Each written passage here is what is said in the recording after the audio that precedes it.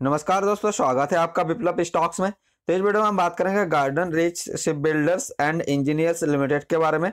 भविष्य में स्टॉक आपको मालामाल बना सकता है। तो आप अगर इस स्टॉक में इन्वेस्टमेंट करना चाहते हो, या फिर आप इस स्टॉक के बारे में जानकारी चाहते हो तो वीडियो को पूरा देखेगा इस वीडियो में मैं इस स्टॉक के बारे में पूरी जानकारी देने की कोशिश कोशिश करूँगा। तो चलिए फिर शुरू करते हैं। तो सबसे पहले बात करेंगे इसके वैल्यूएशन की।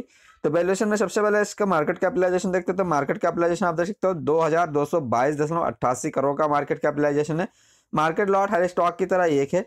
पी की बात करें तो स्टॉक का पी अट्ठारह दशमलव अट्ठानवे का स्टॉक का पी है। इंडस्ट्री पी नौ दशमलव बानवे का इंडस्ट्री पी है। तो स्टॉक का पी इंडस्ट्री पी से हाई यानी ज़्यादा है। तो ये नेगेटिव पॉइंट माना जाएगा। किसी भी स्टॉक का पी अगर उसके इंडस्ट्री पी से हाई यानी ज़्यादा होता है तो नेगेटिव माना जाता है। अगर स्टॉक का पी इंडस्ट्री पी से लो यानी कम होता है तो पॉजिटिव माना जाता है। तो इस स्टॉक का भी इसके इंडस्ट्री पी से हाई यानी ज़्यादा है तो ये नेगेटिव माना जाएगा। बुक वैल्यू नब्बे दशमलव इक्यासी का बुक वैल्यू है। ईपीएस दस दशमलव बाईस का ईपीएस है। डिविडेंड परसेंटेज इकहत्तर दशमलव चालीस परसेंट का डिविडेंड परसेंटेज है। आमतौर पे सौ परसेंट से ज़्यादा का डिविडेंड परसेंट अच्छा माना जाता है, लेकिन सौ परसेंट थोड़ा सा कम है तो इसको ठीक ठाक मान के चल सकते हैं। पीसी पंद्रह दशमलव ग्यारह का पीसी है। प्राइस टू बुक रेशियो है प्राइस बुक दो दशमलव चौदह का प्राइस टू बुक रेशियो है। डिविडेंड इल परसेंटेज तीन दशमलव अड़सठ का डिविडेंड इल परसेंटेज है। डिविडेंड इल परसेंटेज एक परसेंट उससे ज़्यादा का अच्छा माना जाता है, एक परसेंट ज़्यादा ही है। डिविडेंड इल परसेंट अच्छा ही माना जाएगा। फ़ेज़ वैल्यू दस का फ़ेज़ वैल्यू डिलीवरल परसेंटेज साठ दशमलव तिरसठ का डिलीवरल परसेंटेज है। बीस परसेंट उससे ज़्यादा का डिलीवरल परसेंट अच्छा होना जाता है तो बीस परसेंट से कहीं ज़्यादा डिलीवरल परसेंटेज काफ़ी अच्छी बात है स्टॉक के लिए। तो ओवरऑल वैल्यूएशन देखा जाए तो वैल्यूएशन को अच्छा माना जाएगा। यहाँ पे एक ही नेगेटिव पॉइंट बनता है कि स्टॉक का पी इंडस्ट्री पी से हाई है, ये एक ही नेगेटिव पॉइंट है। इसके अलावा आप देख सकते हो डिविडेंड परसेंटेज ठीक ठाक है। डिविडेंड एल परसेंटेज आप देख सकते हो अच्छा डिलीवरल परसेंटेज अच्छा फेजबल अच्छा तो ओवरऑल वैल्यूशन को अच्छा ही माना जाएगा। इसका चले चलते इसके शेयर होल्डिंग पैटर्न पे।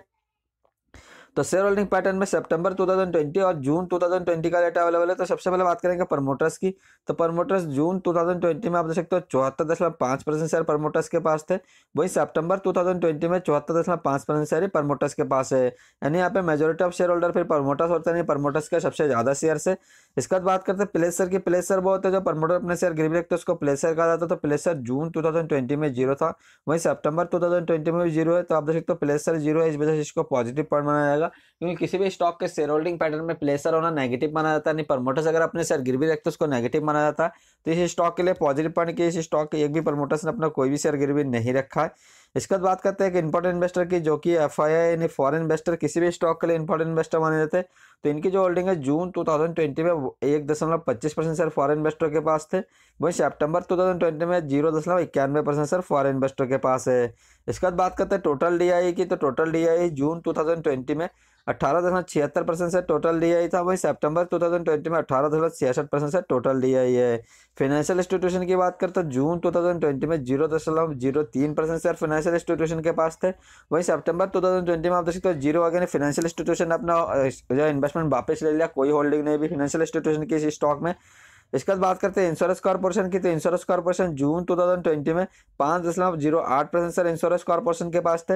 वही सितंबर 2020 में तीन दशमलव पिचानवे परसेंट शेयर इंश्योरेंस कॉर्पोरेशन के पास है। इसके बाद बात करते हैं एक और इंपॉर्टेंट इन्वेस्टर की, जो कि एम एफ़ यानी म्यूचुअल फंड कंपनीज़, ये भी किसी भी स्टॉक के लिए इंपॉर्टेंट इन्वेस्टर माना जाता है। तो इनकी जो होल्डिंग है, जून टू में बारह दशमलव पंद्रह percent share mutual fund companies के पास थे। वही सितंबर टू में बारह दशमलव पिचानवे percent share mutual fund companies के पास है। इसके बाद बात करते हैं अदर डी की। तो अदर डी जून 2020 में एक दशमलव पाँच परसेंट सर अदर डी था। वहीं सितंबर 2020 में एक दशमलव छिहत्तर परसेंट सर अदर डी है। इसके बाद बात करते हैं अदर्स की। तो अदर्स जून 2020 में पाँच दशमलव उनचास परसेंट शेयर अदर्स के पास थे, वही सितंबर 2020 में पाँच दशमलव तिरानवे परसेंट शेयर अदर्स के पास है। तो ये पूरा शेयर होल्डिंग पैटर्न है। तो ओवरऑल शेयर होल्डिंग पैटर्न देखा जाए शेयर होल्डिंग पैटर्न को अच्छा बना जाएगा और बहुत अच्छा शेयर होल्डिंग पैटर्न बना जाएगा। यहाँ पे आप देख सकते हो majority of share holder promoters यानी प्रमोटर्स का सबसे ज़्यादा शेयर है। इसके अलावा प्लेस शेयर ज़ीरो ज़ीरो तो ये पॉजिटिव पॉइंट है क्योंकि किसी भी स्टॉक के शेयर होल्डिंग पैटर्न में प्लेसर होना नेगेटिव माना जाता है तो इस स्टॉक का कोई भी प्लेसर नहीं तो पॉजिटिव पॉइंट माना जाएगा। और जो दोनों इंपॉर्टेंट इन्वेस्टर माना जाते हैं फॉरन इन्वेस्टर और म्यूचुअल फंड कंपनीज़ इन दोनों ने इस स्टॉक में इन्वेस्टमेंट किया तो ये भी इस स्टॉक के लिए पॉजिटिव पॉइंट बनता है तो ओवरऑल शेयर होल्डिंग पैटर्न को बहुत अच्छा ही माना जाएगा, काफ़ी स्ट्रॉन्ग शेयर होल्डिंग पैटर्न है। इसका चले चलते हैं, इसका लास्ट थ्री क्वार्टर का जो रिज़ल्ट था रिज़ल्ट में आप लोगों को दिखा देता हूँ। तो सितंबर 2020 जून 2020 और मार्च 2020 का डेटा अवेलेबल है तो सबसे पहले बात करेंगे सेल्स की। तो सेल्स मार्च 2020 में चार करोड़ का सेल्स था, वही जून 2020 में 109 करोड़ का सेल्स था। तो जून के क्वार्टर का रिज़ल्ट लगभग हर कंपनी का खराब गया तो इस कंपनी का आप देख जून के क्वार्टर का जो सेल्स है, काफ़ी ज़्यादा डिक्रीज हुआ है। कोरोना वायरस कोविड नाइन्टीन को से जून के क्वार्टर का रिज़ल्ट हर कंपनी का खराब गया तो इस कंपनी में थोड़ा बहुत इफ़ेक्ट पड़ा। सितंबर 2020 में जो सेल्स रहा, दो सौ बहत्तर करोड़ का रहा है तो जून से आप देख सकते हो इंक्रीज हुआ, लेकिन आप देख मार्च से डिक्रीज ज़रूर हुआ है। यानी मार्च से कम हुआ, सितंबर का सेल्स तो आने वाले टाइम में अपना सेल्स और अच्छा करने की कोशिश करेगी कंपनी। और सितंबर जैसे मार्च जित, मार्च से भी ज़्यादा आपको तो कंपनी अपना सेल्स करने की कोशिश करेगी। इसके चले चलते नेट प्रॉफिट को तो सबसे नीचे, सबसे बॉटम में नेट प्रॉफिट है। तो नेट प्रॉफिट मार्च टू में उनचास करोड़ का नेट प्रॉफिट था, वही जून टू में ज़ीरो। आप देख सकते हो, नेट प्रॉफिट ना कंपनी को प्रॉफिट हुआ था, ना कंपनी को घाटा गया था। तो आप देख सकते हो, ज़ीरो है बिल्कुल। और सितंबर 2020 में जो नेट प्रॉफिट था, सैंतीस करोड़ का नेट प्रॉफिट था। जैसे कि आप देख सकते हो, जो सेल्स था, वो काफ़ी कम था। सितंबर में मार्च के कंपेरिजन में, लेकिन नेट प्रॉफिट आप देख सकते हो, उतना ज़्यादा कम नहीं है उस हिसाब से। ठीक ठाक नेट प्रॉफिट है। और आने वाले टाइम में आपको तो आने वाले क्वार्टर में कंपनी और अच्छा परफॉर्म करने की कोशिश करेगी। इसका चलिए चलते हैं इसके बैलेंस शीट की ओर। तो बैलेंस शीट में मार्च 2020 और मार्च 2019 का डेटा अवेलेबल है। तो सबसे पहले बात करेंगे टोटल शेयर कैपिटल की। तो टोटल शेयर कैपिटल दोनों ईयर में से हमें एक करोड़ का टोटल शेयर कैपिटल है। दोनों ईयर में मार्च टू में और मार्च टू में भी। इसके बाद बात करते हैं नेटवर्क की। तो नेटवर्क तो मार्च टू में एक करोड़ का नेटवर्क था। वही मार्च टू में एक करोड़ का नेटवर्क है। इसके बाद मैं हमेशा जो है बैलेंस शीट पे कंपनी का जो टोटल डेप्ट यानी टोटल कर्जा जो होता है वो बताता हूँ, लेकिन इस इस कंपनी के बैलेंस शीट पे टोटल डेप्ट यानी कर्जा अपडेटेड नहीं था।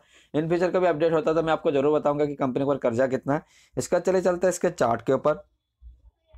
तो चार्ट में आपको तो आज सत्ताईस नवंबर है और अभी मार्केट क्लोज हो चुका है तो आज का क्लोजिंग वजह से आप देख सकते हैं एक सौ तिरानवे रुपये पचास पैसे पे स्टॉक क्लोज हुआ है।